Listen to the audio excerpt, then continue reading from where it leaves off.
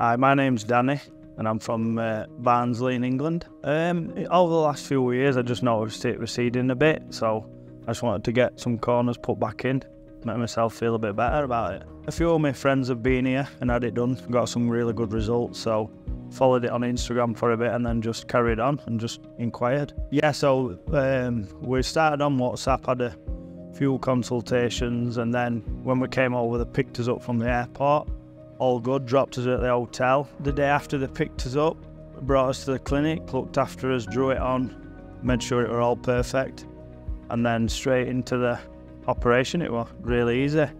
Definitely come to Hair of Istanbul for it doing best by far. Definitely recommend them to come here. The best I've seen, best results, best facilities, clean, hygienic. Everyone's welcoming and look after you, friendly.